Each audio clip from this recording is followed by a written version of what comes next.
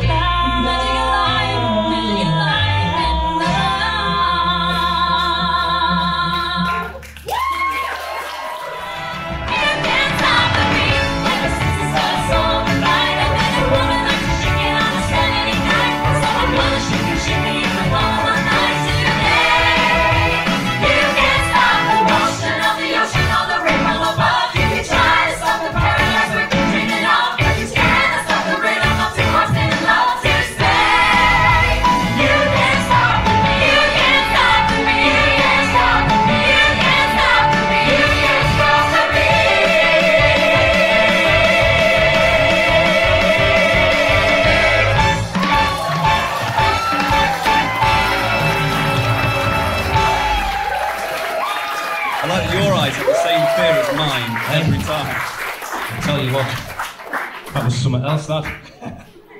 Well, uh, ladies and gentlemen, uh, good night. Uh, we, we've come to our last song. Um, thank you very much for coming down, and like I said, we appreciate you. You know, we move venues, and we'd like to thank all the staff here at the Charles Booth Centre for accommodating us with this fantastic stage and these. I've never seen curtains like. Last time I seen curtains like that, my granddad went through them. I've never seen them since.